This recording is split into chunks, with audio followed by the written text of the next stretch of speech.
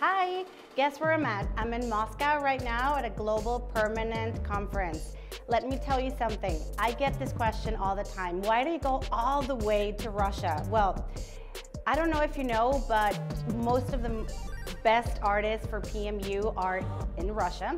So it's an amazing opportunity to be part of this conference where you can not only improve your skills and meet the best in, you know, in this art, but you can also get to know people and improve and get better and, and just be part of the new trends and everything that is happening with the PMU uh, industry. And guess what? It's not only about PMU, it's also about aesthetics.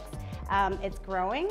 So, you know, one thing leads to another, and now you're doing uh, permanent makeup, and now you need aesthetics. So, this is the place to be. Um, there will be um, adding more, more, and more things so we can learn a lot more from it, and you can get the best out of it. So, come, come to Moscow. Come and get Global Permanent.